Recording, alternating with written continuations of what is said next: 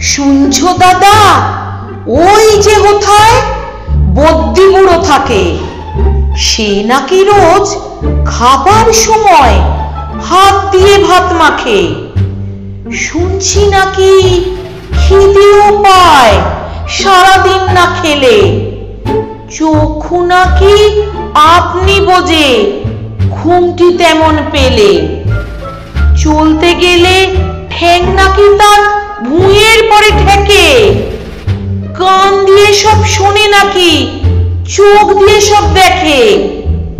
শোয় নাকি সে মুন্ডুটাকে শিওর পানি দিয়ে? হয় নাকি হয় সত্যি মিথ্যা? চল না, দেখে গিয়ে